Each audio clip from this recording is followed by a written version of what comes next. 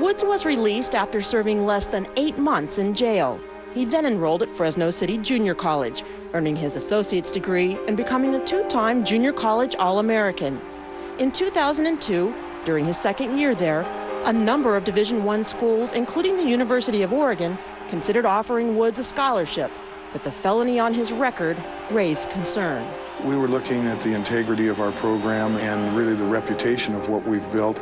And uh, though we, we may go through some scrutiny uh, with the, the action that we took with the reduction, uh, there could be far more, uh, we felt, if, if it was not reduced. In January of 2003, Woods had three years of probation remaining on his sentence.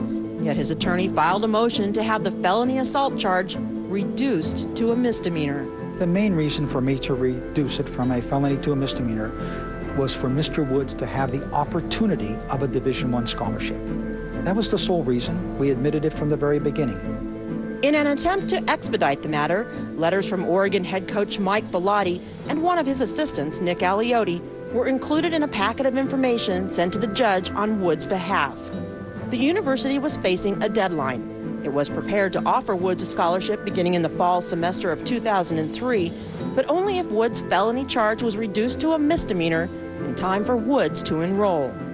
What I did in writing the letter was a timeline. It says specifically in the letter we're not trying to affect justice or the decisions of the court. It is merely a timeline to make them aware that if these things happen, then he can do it, and if not, we need to know so we can move on as he can move on with his life. So I don't think I had any influence on any court or any jury decision or anything else. We felt in this particular case, after doing all the research, and it was quite in depth, that Rodney Woods deserved that scholarship if indeed his felony was reduced.